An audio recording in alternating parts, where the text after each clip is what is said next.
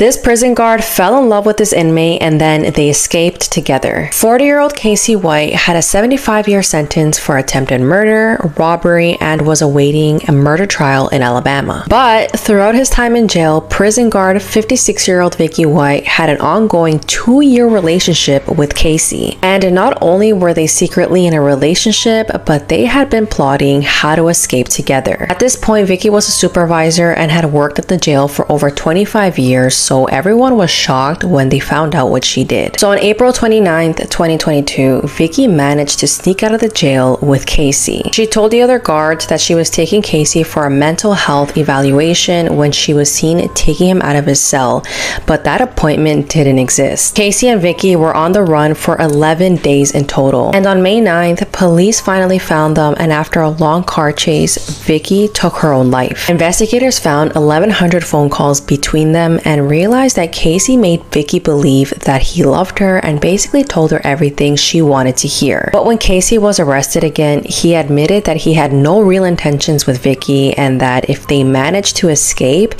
he was going to kill her. Here are five of the strangest animals that you probably didn't even know existed, part two. So in fifth place is the big old penis snake. Now experts don't really like calling it that for some reason, so the technical name for it is this. Only two of these creatures have ever been found, one in the Brazilian rainforest in the late 1800s, and then one in 2011 by engineers working on a hydroelectric dam project again in Brazil. In fourth place is the goblin shark, or sometimes called a living fossil, because it is the only surviving representative of the family Mitsukuranidae, a lineage 125 million years old. In third place is basically an alive thorn. The official name for the bug straight up sounds like a Harry Potter spell, Umbonia spinosa. In second place, we have the blue glaucus, which somehow is a species of sea slug. And in first place has to be the creature of nightmares, the African hammer-headed bat. this, this looks like Satan's version of a dog. They inhabit Central African lowland rainforests, swamp forests, mangroves, grasslands, and hell. Now I have 10 more of these, so make sure you follow for tomorrow's part 3. Police in Edna, Texas have reported that they are searching for a person and vehicle of interest related to the December 5th murder of 16 year old Lisbeth Medina. On Tuesday, Lisbeth's mother Jacqueline found her unresponsive in their apartment after she hadn't shown up for a Christmas parade with her cheer squad. She was pronounced dead on the scene, and while her cause of death has not been released, it's been said she is a victim of capital murder. Very few details about the crime have been released, but today, Edna police released photos of a person and vehicle of interest in connection to the case. The person of interest is a male and is described by police as possibly having a tattoo behind his right ear. He is seen in the images wearing a black Volcom hooded sweatshirt and he was seen driving a silver Ford Taurus model year ranging from 2010 to 2018. The entire community in Edna, Texas is absolutely heartbroken over Lisbeth's murder. Like I said, not too many details have been released, but with the release of this image of the person of interest and his vehicle, police are asking for the public's help. If you know anything about Lisbeth's murder or anything about this person or vehicle, you can contact the numbers here. Please help spread awareness about this so we can help get justice for Lisbeth.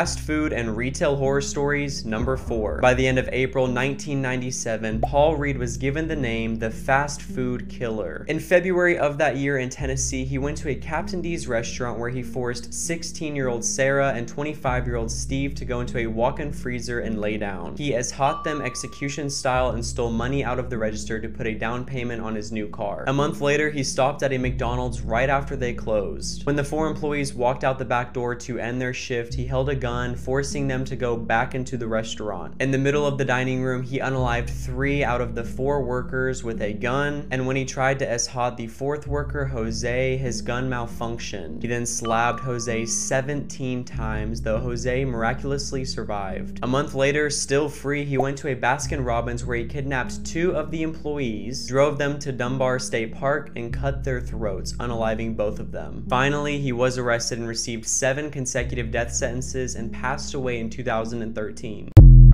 This YouTuber was murdered by her own father in an honor killing. Tiba Al Ali was originally from Iraq but moved to Turkey in 2017 at the age of 17 and has lived there for the past six years with her boyfriend. While she lived in Turkey, she began a YouTube channel and blogged her life and managed to gain around 34,000 subscribers. But even though Tiba seemed to love her new life, her father back in Iraq was not too happy with her decision to leave and not come back. And on January 2023, she went back to Iraq to attend an event and see some of her family, but while she was there, her father kidnapped her, drugged her, and then strangled her in her sleep. He later said that he did this to wash away the shame she had brought to the family. He eventually turned himself in, but apparently he won't be serving much time in prison. And this is because the penal code in Iraq allows judges to impose lenient sentences on people who kill for honorable motives.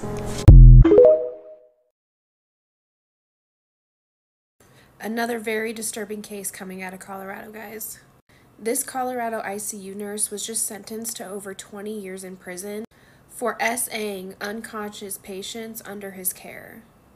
This is 61 year old Christopher Lambros, and he was an ICU nurse at the St. Mary's Hospital in Grand Junction, Colorado. He was arrested back in October of 2022, but the sentencing just happened. On July 9th of 2022, Christopher was caught in the act by another nurse at the hospital. The nurse immediately reported what they saw to the supervisors. The nurse saw him taking a selfie with an unconscious patient, and he actually pulled up the patient's gown and was exposing her genitals. The witness said that when he was caught, he immediately dropped his phone and then acted like he was doing something with the medical equipment and left the room. What police found on his phone is disturbing. There was multiple pictures and videos of him with patients. In one of the videos, he was actually sucking on one of the patient's nipples.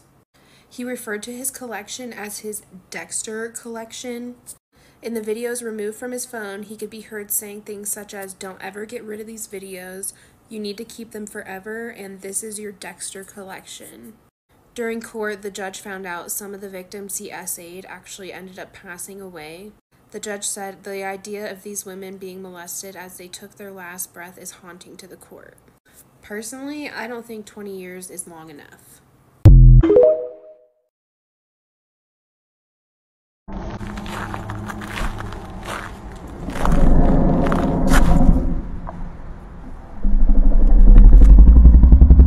BBC are reporting today that a giant hole bigger than 60 Earths has appeared in the sun. Now, before you start typing hole in the sun before GTA 6, it's not a goddamn hole. The real reason it looks like one is because this dark area is cooler than the rest of the sun, which when viewed on ultraviolet and X-ray images makes it appear darker. But if you looked at it with your naked eye, you wouldn't even be able to see it. So we can chill out because it is not the end for us yet. This is the harrowing case of the deceased baby that was posted in the mail. It was the 11th of May 1965 in Darwin, Australia. A postal worker named John Polishuk was expecting a normal day at work. Little did he know what he was about to find would haunt him for the rest of his days. An unclaimed parcel sat in the office, and this was not uncommon. However, this particular parcel had been sat there for eight days, and something unnerving had started to happen. It had begun to smell quite bad and liquid was seeping out of it. John decided to investigate and was horrified by what he found. Inside the package was a deceased newborn baby. Part of the child's umbilical cord was still attached. In a complete panic, John rang the police. An investigation began, but unfortunately, it was frustratingly unproductive. Now, the package had come from Melbourne to Darwin. It was documented that a J.F. Barnes at 2 Woolridge Avenue, Mentone, Victoria, had posted the baby. However, the officers involved in investigating this crime found that the address didn't even exist. There was also seemingly no such person as J.F. Barnes in the area. The parcel was also addressed to someone who didn't seem to exist. An autopsy concluded that the child was killed at just a few hours old. Horrifically, they had been strangled. Tragically, the mystery of the baby in the mail has still never been solved. Riker has been found hungry, thirsty and cold but in good health after going missing for two days near his home in Montana. He was last seen playing with the family's dog. After disappearing, police received a concerned call from a neighbor and began searching. A code red was sent to all nearby residents as teams combed through dense vegetation in the area. He was found on Pine Ridge Road, about 2.5 miles from where he'd last been seen. Keep asking about what happened. Riker, do you remember when you got lost? What do you see? I see a house. A house? In the woods?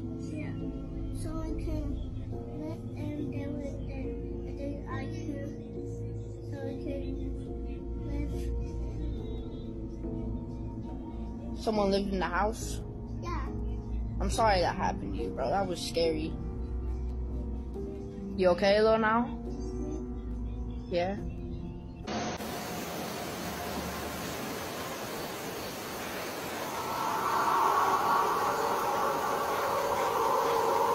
Y'all, breaking news. So, an arrest has finally been made in the case of the 16 year old cheerleader that was found unalived in the bathtub last week.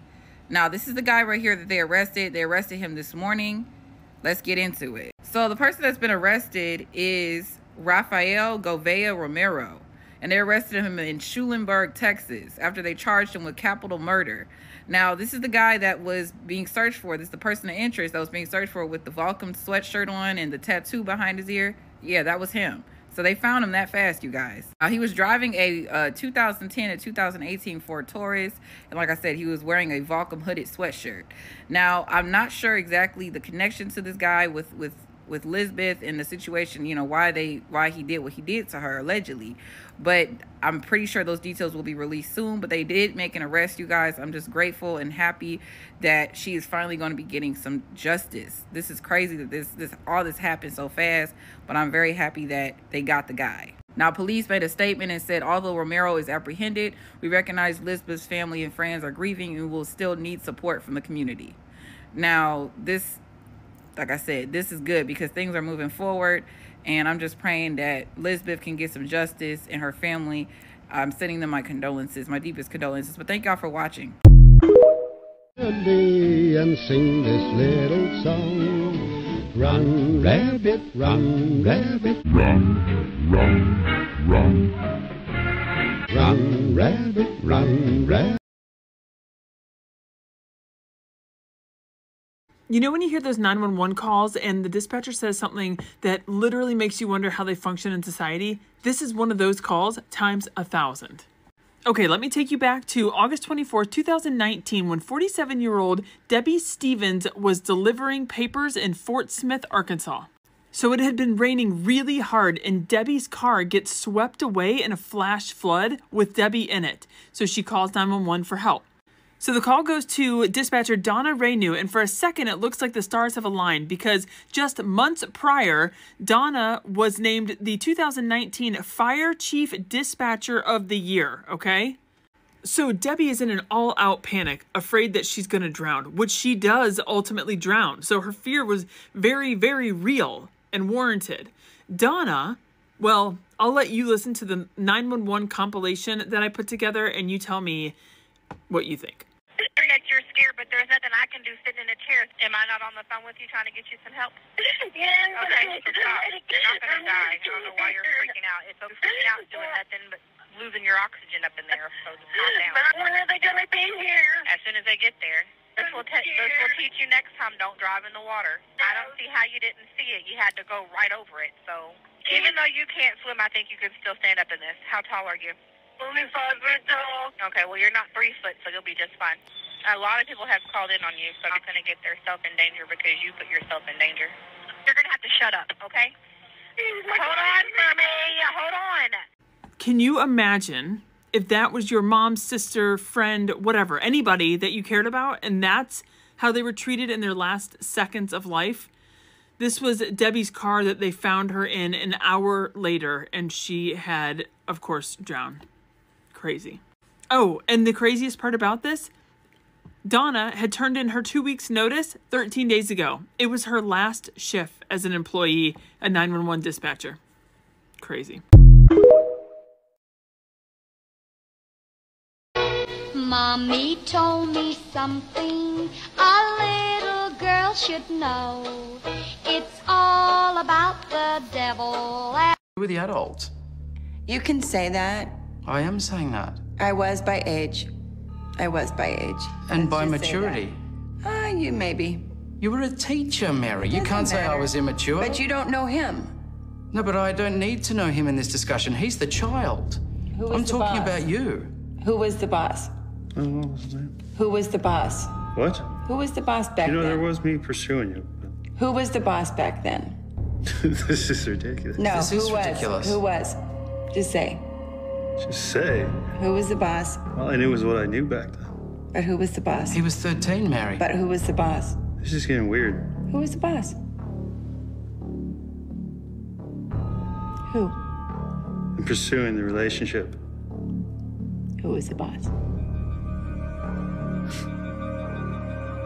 Well, I was the pursuer. Yes. Mary, even as you're hearing this now, come on, he was 13. Doesn't matter. It absolutely matters. Oh well, flaw me. Flaw me as a as an uh, As an adult? um, yes, flaw me. I did the Yeah. best I could. This 21 month old baby went missing 51 years ago and has just been reunited with her family. In 1971, Melissa Highsmith was a baby. Her parents had just separated, and her mum, Alta, was looking for someone to help with childcare so she could try and keep her job. She posted an advert in a local newspaper and got a reply from someone called Ruth Johnson. Ruth picked Melissa up from Atla's roommate one day when Atla was at work. The roommate reported that Ruth seemed to be nice and she was well dressed. She was wearing a bonnet and white gloves. However, tragically, the woman never returned, and this was the last time her mum would see Melissa for 51 years. The local community set out looking for baby Melissa, but the police had little to go off. Atla had been absolutely desperate for childcare, and with the threat of losing her job, hadn't been able to visit Ruth at her address prior to agreeing to the childcare. Ruth and Atla had arranged to meet prior to the initial babysit, but Ruth failed to show up. With limited options, once Ruth got back in contact, Atla took her up on her offer. Melissa's case would go cold for half a century. In November 2022, there was a false sighting of Melissa. Despite the disappointment that this caused to the family, it also spurred them on to start looking again. Melissa's dad submitted a home DNA test kit. The results that came back were shocking. The test was able to link Melissa's parents to grandchildren they didn't even know about. Melissa's dad was able to get hold of a marriage record and find Melissa on Facebook. Melissa was going by the name Melanie Walden. At first, Melanie was very skeptical when Jeffrey explained the situation. He managed to convince her that he was genuine by explaining to her the birthmark that he knew that she had on her back. Melanie agreed to a DNA test, which once and for all confirmed she was missing baby Melissa. She finally got reunited with her family and revealed she'd actually been raised in a town less than 20 minutes from where she was snatched. Now, no information has been released about the woman who raised Melissa, apart from the fact that she was abusive and caused Melissa to leave home when she was just 15. When Melissa confronted her about the news that she now knew, the woman that raised her admitted to knowing that she had been kidnapped. Melissa is now going by her birth name again and wants to have another wedding ceremony so that her dad can walk her down the aisle. This 10 year old kid murdered other children, and she pretty much got away with it. This is the twisted story of serial killer Mary Bell.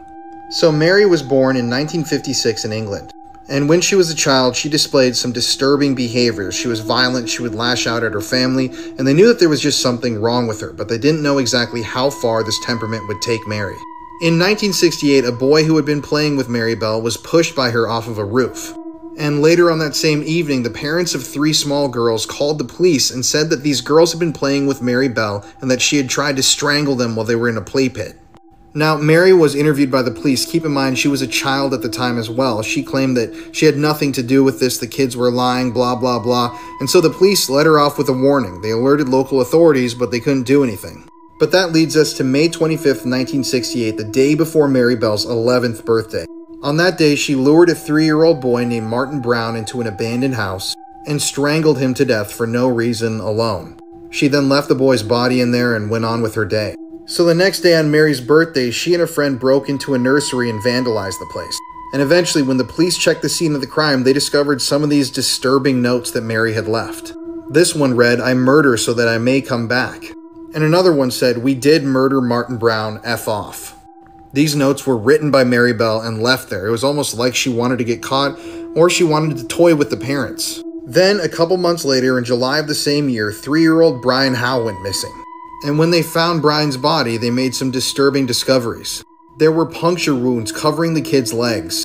The letter M had been haphazardly carved into his stomach. Hair had been sliced off from his scalp, and his privates had been mutilated. Eventually, though, it was found that Brian died from strangulation. And when the coroner was looking at his corpse, they determined that the killer was probably another child. So eventually, after a large manhunt and an investigation by the police, authorities were led to Mary Bell, who was seen playing with Brian on the day of his death. I mean, there are a lot of details that go into the story. I can make a more detailed story time if you want, but eventually Mary confessed to killing Brian and also confessed to murdering three year old Martin just a few months prior.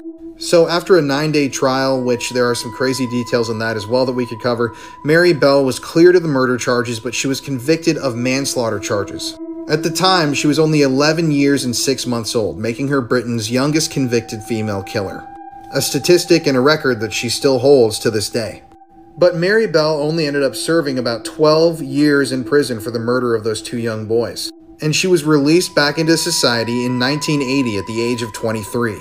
She's still alive, and nobody knows exactly where Mary Bell is today, as she's been granted lifelong anonymity by British courts. She has her own child, and like I said, she's not dead, so nobody knows exactly where she is. So if you're watching this from England, your next door neighbor may have been a child killer. You never know.